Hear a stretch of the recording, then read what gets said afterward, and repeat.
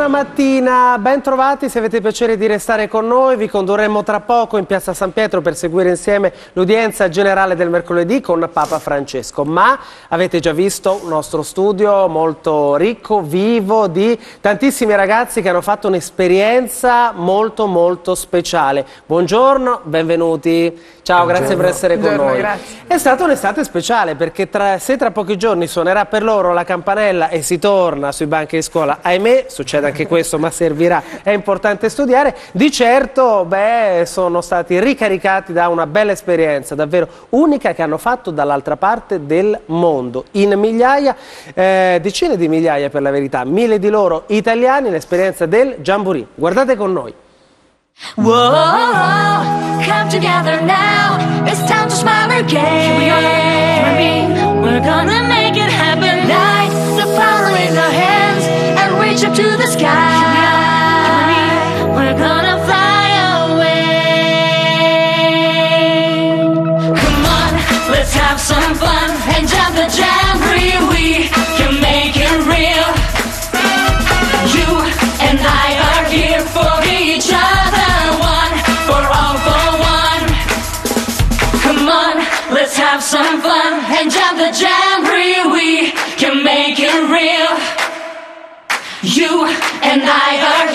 for each other, In 35.000 scout da tutto il mondo si sono ritrovati in Giappone, un'esperienza penso davvero eh, molto particolare, unica, un'esperienza di fraternità, di condivisione, di incontro. Eh, Francesco Scoppola, capo scout, grazie per essere con noi. Grazie a voi. Che buongiorno. cos'è il Jamboree per chi non lo conoscesse? Il Jamboree è il raduno mondiale degli scout, che si tiene una volta ogni quattro anni, quindi il raduno che vede uniti tutti gli scoutismi di tutto il mondo. Anche di religioni diverse? Anche di religioni diverse, assolutamente. In Italia abbiamo partecipato con un contingente federale, di cui fanno parte due associazioni, la GESCI, che è l'Associazione Guide Scout Cattolici Italiani, e il CENGEI, che è il corpo degli esploratori laici italiani. Allora, voglio prima presentarvi Livia, ciao Filippo e poi il microfono.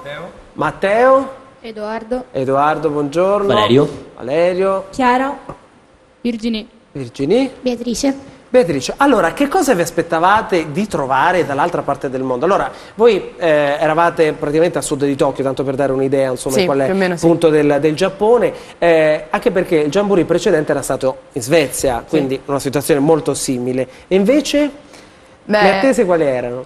le attese erano veramente, cioè non c'era nulla diciamo di chiaro, a parte il fatto che ci sarebbero stati scout da tutto il mondo, non si aveva un'idea concreta di quello che si sarebbe andato a fare. Però tu- cioè, non si poteva veramente controllare l'emozione, eravamo tutti veramente molto eccitati da questa, questa esperienza. Esperienza. E quando l'avete detta a casa, papà, io vado in Giappone, com'è andata? Che ti hanno detto? Mio padre ha detto provaci, vediamo se ti prendono, poi è andata bene, meno male. Senti, l'impatto una volta arrivati? Una volta arrivati è stato stupendo, è stata un'emozione che secondo me è una delle migliori del mondo, è vedere tantissime persone con tutti i ideali più o meno uguali, con, eh, di avere la pace nel mondo, di essere amici, di essere fratelli, insomma. Filippo, tu quanti anni hai? 15. 15. E per te, ho capito bene, l'esperienza più bella che hai fatto fino adesso? Sì, finora sì, è stato Mm, stupendo. Della tua vita? Sì, Voi essere. parlate ovviamente tutti giapponese, immagino. Eh, ovviamente.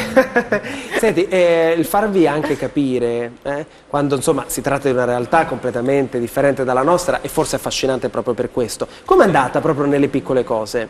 E allora, eh, noi abbiamo fatto tre giorni di home hospitality, quindi siamo stati tre giorni casa proprio, sì, di a famiglie casa dei giapponesi? giapponesi proprio per rapportarci con la loro cultura. E all'inizio è stato un po' traumatica come cosa perché era tutto molto differente dalle piccole cose come togliersi le scarpe e stare con eh, le ciabattine in casa e fino al fatto di, di sedersi per terra per mangiare sul tavolino eh, basso, quindi era tutto molto differente dalla nostra cultura, ma alla fine siamo riusciti ad apprezzarlo e anche a rapportarci con questa Chi ti ha cultura. ospitato? Allora, io sono stato ospitato da una famiglia che vive a Kobe, una piccola città nel sud del Giappone. Che è conosciuta anche per, per la carne, Sì. è conosciuta. Eh? Tu invece?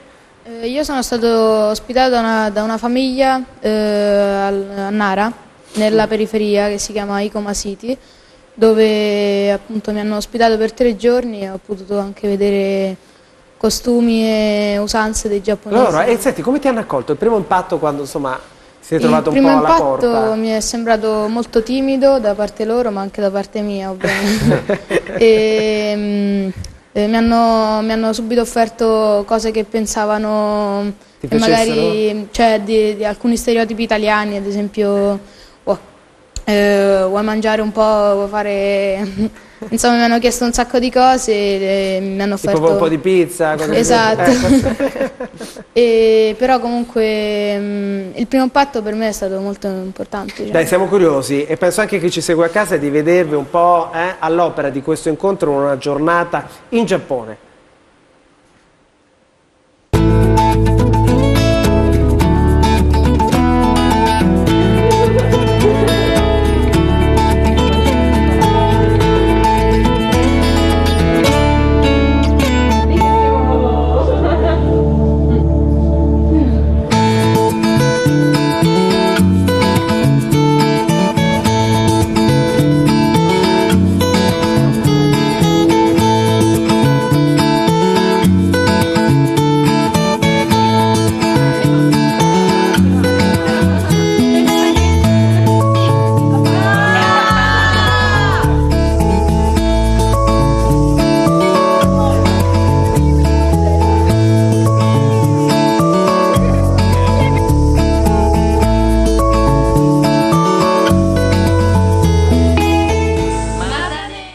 Accadeva con quegli spaghetti? Eh? Che cos'è? Venivano messi questa sorta di spaghetti, chiamati volgarmente spaghetti, ma si chiamano noodles nella Ah, cultura giapponese, vero. che venivano fatti scivolare lungo questa sorta di percorso di bambù e l'attività era prenderli con, con le bacchette al volo e ovviamente mangiarli, insomma. Senti, cosa vi ha colpito di più proprio del- dell'impatto dell'incontro con queste famiglie che hanno deciso di aprire le loro porte a persone che vivono dall'altra parte del mondo? Allora, innanzitutto la gentilezza e l'accoglienza, ecco, sono stati indubbiamente proprio la calorosità ehm, e mm, tutto quanto, insomma, l'ambiente che hanno cercato di, di- di creare attorno a noi, ci hanno fatto veramente sentire eh, a nostro agio. Ehm, allo stesso modo, quindi, ehm, ci hanno fatto assaggiare, come hanno già detto, tante pietanze loro tipiche, per esempio. Ti sono piaciute? Cosa hai Tantissimo. assaggiato? Io ho assaggiato, per esempio, mi hanno portato addirittura eh, a mangiare la carne di cobba, eh, carne di Kobe, che è, è molto pregiata, appunto. E, mm, Inoltre poi noi anche però abbiamo cercato di lasciargli qualcosa Certo. e io per esempio insieme al mio compagno, perché eravamo in coppia, ehm, abbiamo voluto suonargli, dato che amo la, la chitarra, abbiamo voluto suonare qualche canzone tipica italiana o anche cucinargli un piatto, eh, qualcosa che insomma gli facesse sentire un po' come l'italianità, insomma, come... Eh, dello lo star bene anche insieme. Assolutamente. Fra l'altro sono giorni in cui si parla tantissimo nel nostro vecchio continente in Europa eh, sul tema dell'immigrazione e vedere questi ragazzi così accolti dall'altra parte del mondo, insomma, è qualcosa che scuote un pochino no, l'animo e credo che cambi anche il modo di vedere le cose e il mondo da questa prospettiva. Sono esperienze che fanno, fanno crescere. Sì, sì, sì, sono esperienze che sicuramente non rimangono isolate al momento dell'esperienza, ma creano quella consapevolezza e anche quella proprio predisposizione all'incontro e alla condivisione che oggi più che mai sono insomma, importanti. Voi siete abituati a fare vita da campo. Dopo questi tre giorni, eh, ricordiamo che eh, è iniziato proprio dal 28 luglio scorso sino all'8 agosto il vero e proprio Jamboree e eh, avete fatto vita da campo. Normalmente un campo, in quanti siete eh, quando li fate eh, tra voi? Beh, dipende dal gruppo, di solito Uh-huh. una trentina. Una trentina massimo. Allora, in Giappone al Jamboree eravate 35.000. Ecco le immagini della vita da campo.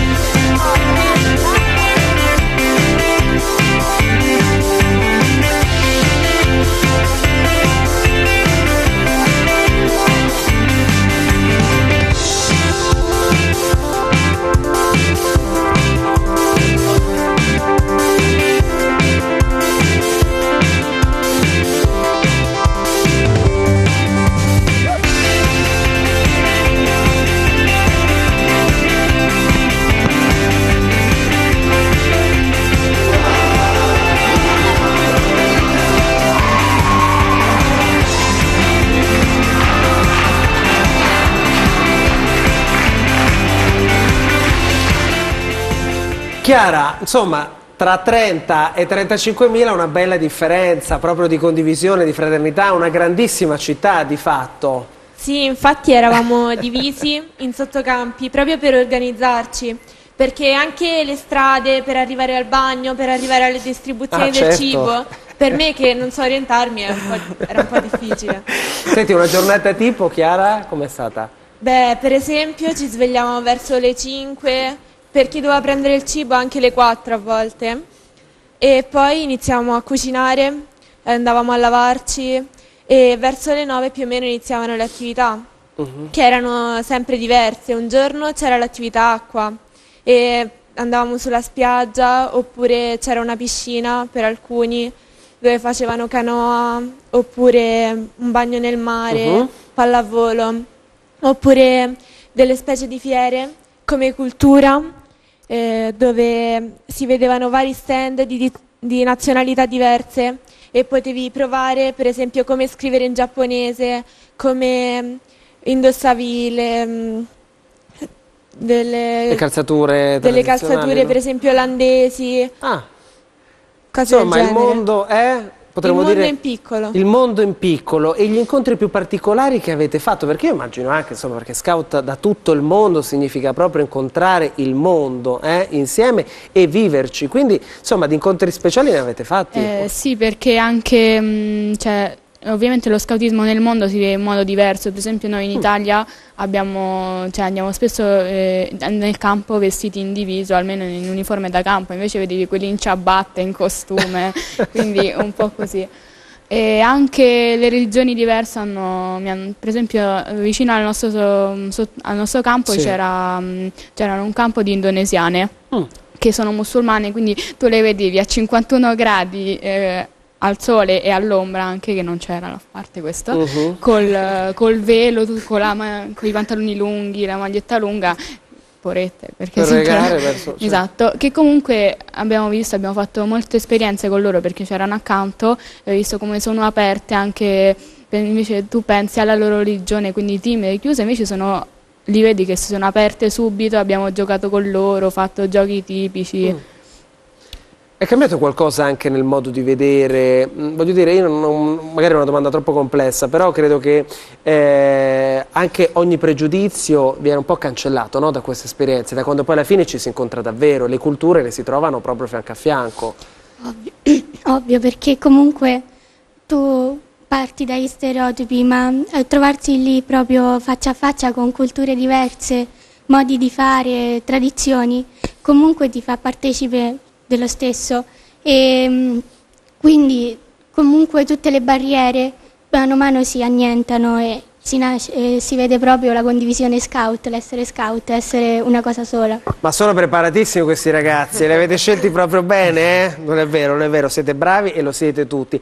Eh, noi ci fermiamo per qualche secondo, poi c'è tanto di cui parlare, tanto di cui chiedervi e raccontare anche a chi ci segue a casa. Quindi, no, un caffè non ve lo posso offrire, no, qualcosa da bere, ci fermiamo per qualche istante, poi torniamo e insieme andiamo in Piazza San Pietro per l'udienza del Papa. Vi aspettiamo a tra pochissimo.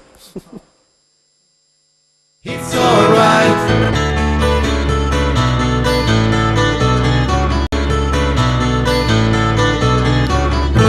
Bentornati nell'estate di Bel Tempo si spera, in diretta tra poco l'udienza di Papa Francesco insieme ad una rappresentanza di esploratori e guide che sono andati dall'altra parte del mondo per più di dieci giorni per un'esperienza che si chiama Jamboree. Ma questa parola che cosa significa?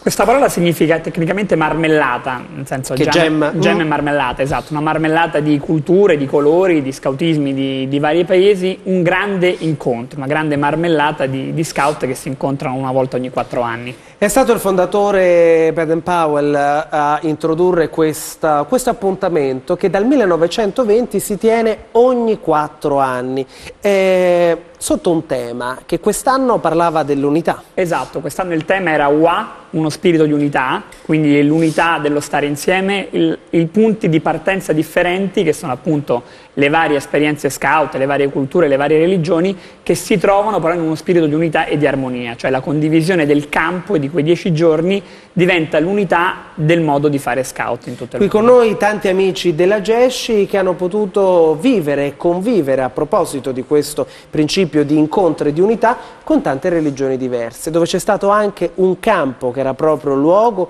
di fede e di preghiera. Guardate con noi.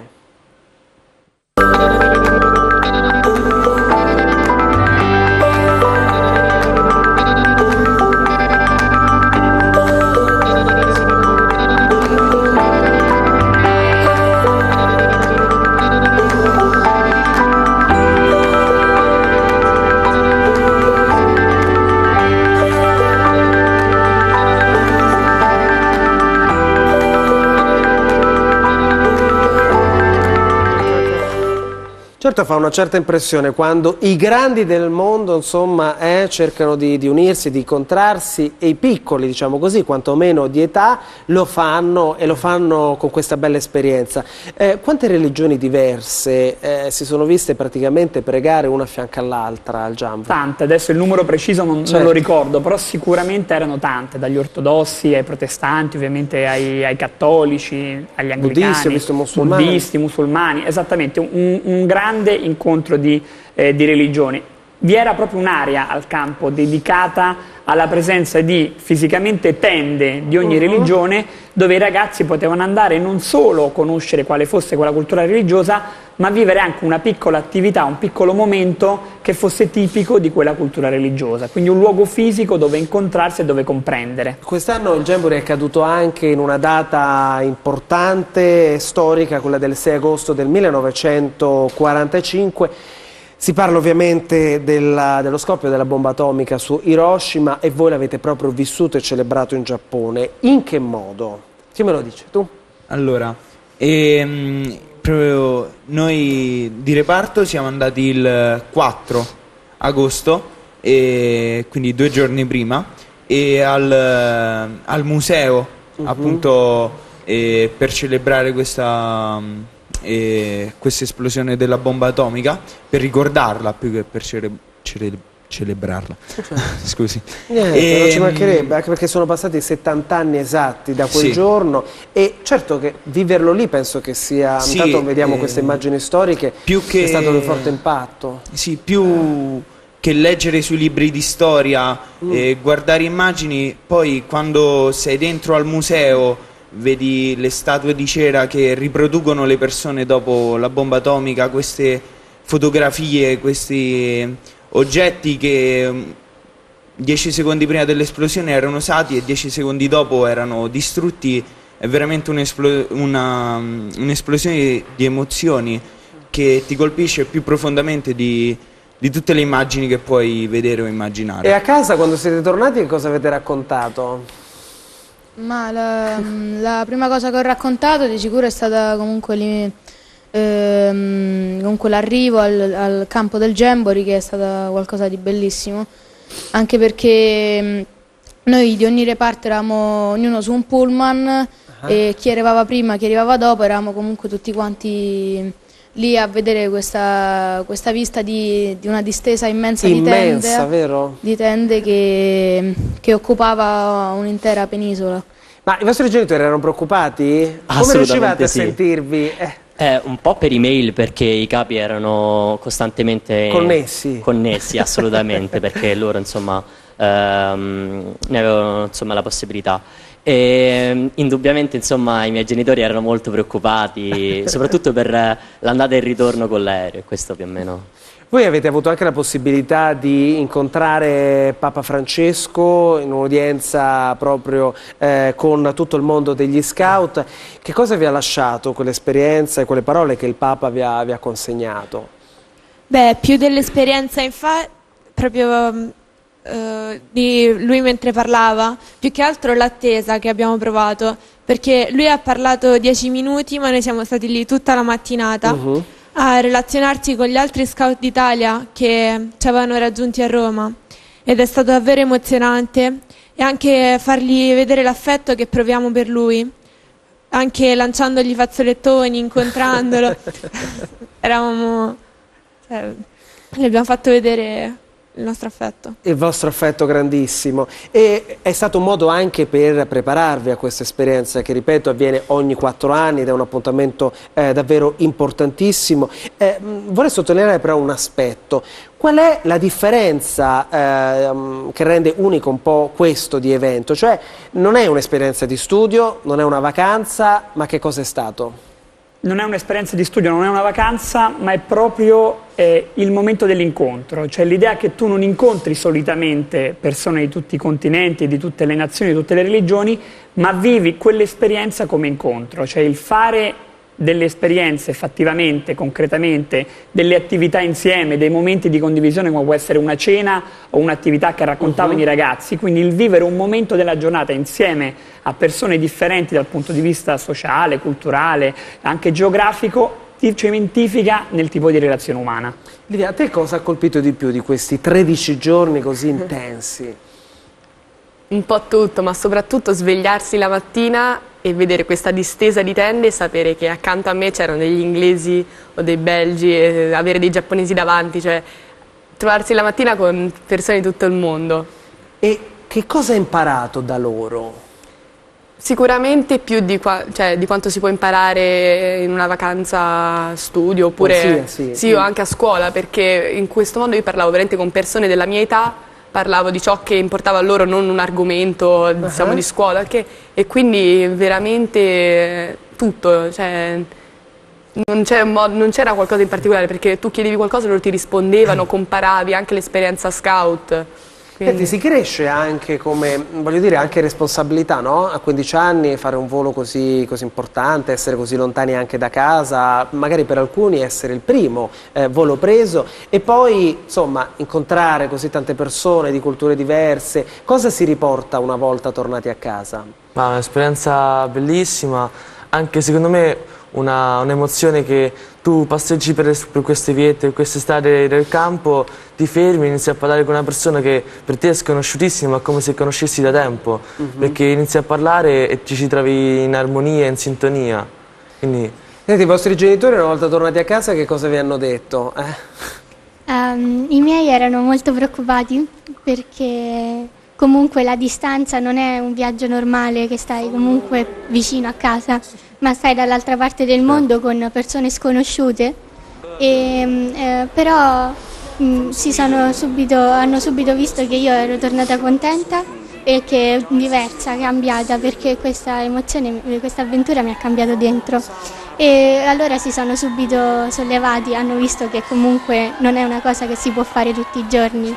Allora, penso che in valigia avete riportato a casa un'esperienza e soprattutto nel cuore che vi ha fatto crescere, probabilmente cambiare anche il vostro sguardo sul mondo. Io vi ringrazio tantissimo perché come avete visto Papa Francesco ha fatto il suo ingresso in piazza San Pietro e l'eco delle diverse lingue che si trovano in quella piazza le sentiamo anche noi. Quindi grazie a Francesco Scoppola grazie e grazie di cuore a tutti voi. Guida Esploratori mi raccomando continuate così e un saluto anche a casa. Grazie davvero. E allora, linea adesso al centro televisivo Vaticano, mentre questo sguardo ecco qui sul nostro studio, con il quale vi salutiamo, ma ci rivedremo subito dopo. Buona giornata, linea.